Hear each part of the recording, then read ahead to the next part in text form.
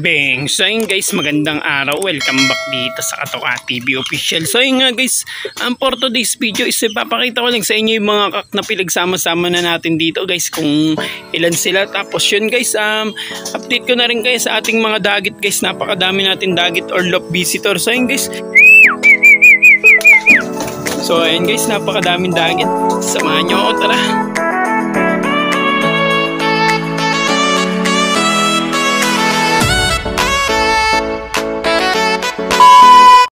Bing, at ayun nga guys, eh, ito na nga yung sinasabi ko, napakadami natin dagit araw-araw dito sa lop.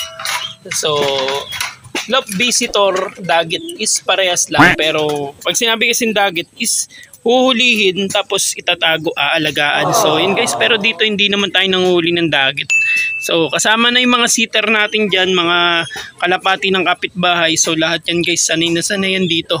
So, ang iniiwasan ko lang kasing mangyari dito is yung pag may sakit yung mga kalapating dumadayo dito sa loob, sumasampa dito, kumakain ng tira-tira sa ilalim, lalo yung mga patukaan ko doon, nililipad nila para makatuka sila.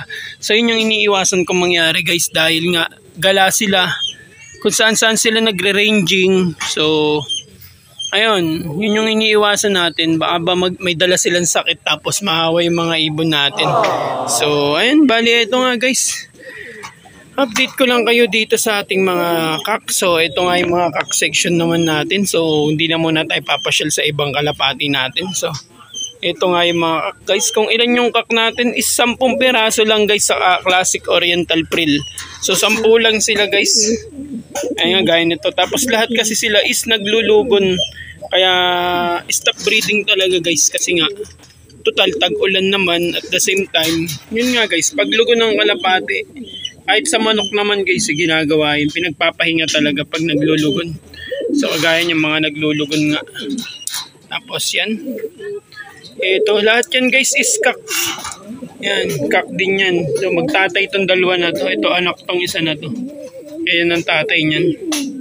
So pare silang solid. Yan. Ayun bali update lang to guys sa ating mga lagang ibon lo. Especially dito sa ating mga kak kasi hindi natin sila madalas ma-flex dahil nga um, magkakahiwalay sila guys.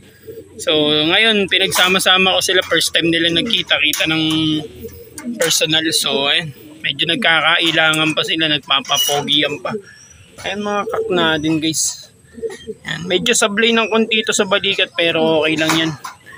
Uh, solid naman yan mag-anak kaya lang medyo sablay lang yung last breeding breeding season natin. So hindi tayo nilabasan ng mga solid.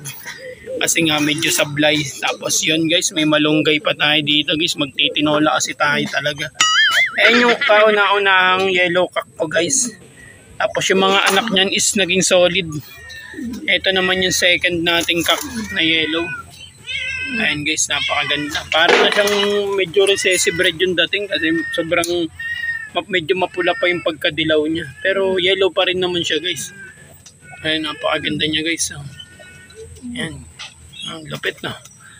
Ayan nga guys, update lang yun. Tsaka dito sa ating mga lop visitor natin. Tapos ayun guys, as usual, nilagyan ko rin ng malunggay yung ating lop. Ayan, yung mga gustong kumain is kakain lang guys. Ayun oh minumukbang nila anina yan.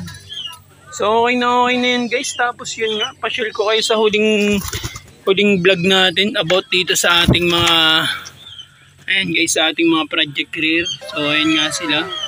Yan, hindi muna natin sila isasama sa ating kak sa ating mga stock loop ng mga oriental prill kasi nga is nagmamatured sila guys umaasawa pwede silang sumakay sa mga oriental prill natin. So, iniiwasan natin yan. Tapos yun nga yung ating mga yellow guys. Yan. Mga yellow. Anak na yan yung mga yellow na yan. Yan. Yun lang guys. And hindi na muna tayo papasyal dun sa kabila kasi sila GBH yung mga project career natin na is tinago muna natin dun sa kabila. So, ito stock, stock double cage muna natin. Wala muna laman. Baante muna yan. Tapos para pagsikat ng araw dito guys is tumama sa kanila at least naaarawan sila kahit papano. So ayun nga. Ito nga yung mga ano natin, uh, mga dagit. So mga love visitor guys. So halo-halo na yun mga sitter natin. Tapos kalapati ng kapitbahay. Yun, yun. Nakita nyo guys, yun. Yun, yun, yun. So, uwi na yun doon kanino man yun. So, ganun lang yung routine nila guys. Ayun, makita nyo. Ayun, lumilipad. So, ganun talaga guys. Yun lang yung routine nila. Ayun, oh. Ayun, lumilipad. Ayun, yun guys, nakita nyo yun. Dumapo na guys. So, yun yung routine tatawagin ko. So yun guys, parang kalapati na natin sila. Napakalupit ng mga dagit. Mga lock visitor natin yan guys, ang dami. Napakadaming lock visitor. Ah, solid. 1, 2, 3. Paloronday natin yan guys. 1, 2, 3. Woo! Ayun guys. Napakalalapit ng mga bihag natin guys sa mga lock visitor.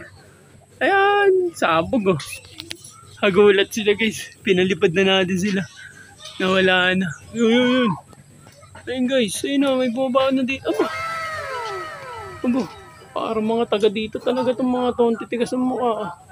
Ayan, yung iba kasi dyan sitter natin kaya dito bumababa. Ayan. Ayun pa guys, ayun pa. Ayun, bihag yun. Gulat siya, no?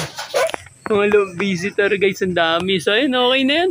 Bang! Yun guys, hindi lang pala kalapati ang lock visitor natin. Meron din tayong pusa. Ayun guys. Ang tirador siguro tong pusa na to. Napakalupit ng pusa na to guys. Mukhang nga niya yung mga lock visitor natin. Uunahan pa tayo. Ay, napakalupit guys. Kwanto sawa siyang kakainin niya yung mga lock visitor natin. Awit. Yan, buti na lang guys, umalis na. So, ayan, mamaya uuwi na yun sa kanika nilang mga bahay. Sa kanika nilang mga may-ari, yung mga lock visitor natin na yan. Ayan, sana makauwi sila ng maayos at ligtas. Sa kanika nilang mga may-ari. Ayan. So, ayan nga guys, napakalulupit ng mga lock visitor natin. Ayan guys, oh. Isang damukal na lock visitor. Umasyal sa Katoka TV official lock. Ayun o, oh, pakadami nating lock visitor dito. Grabe naman yun. Ayun guys, pero hindi natin yan uhulihin guys. Yung mga lock visitor na yan is hindi natin uhulihin yan. Ah, dahil hindi atin yan, bawal tayong mangangkin ng kalapate. So mas mag-focus na lang tayo sa ating mga alagang classic oriental frills. So ayun guys, and yun, kung bago ka pa nga lang dito sa aking YouTube channel, mag-subscribe ka na Katoka TV Official and follow mo na rin yung ating Facebook page, Katoka TV Official. And yun guys, maraming maraming salamat sa lahat ng patuloy na sumusuporta dito sa Katoka TV Official. And thank you, thank you talaga kasi guys, um, kahit paano is may improvement yung ating YouTube channel. So, ayun guys, and Ayun, keep sharing lang guys and keep supporting dahil tuloy-tuloy ang ating parapol gift bird dito sa ating YouTube channel. And bawat bawat achievement ng YouTube channel natin is may pag-gift bird tayo para sa mga solid supporters natin. So ayun guys, ito pa nga yung ating mga yellow. Mga yellow YBs guys, yan napaka-solid yan. Yan mga yellow YBs, mga blondies. Ayun, napakalulupit guys. Update lang to sa ating DOP dahil medyo busy tayo nito mga nagdaang araw. At ayun guys, kaya ako nga sila nilagay dito is para makondisyon na rin. Maarawan, yung masinaga ng araw kasi birang-bira itong mga kak natin maarawan. Tsaka first time lang nila nagkasama-sama ng ganyang kalalapit.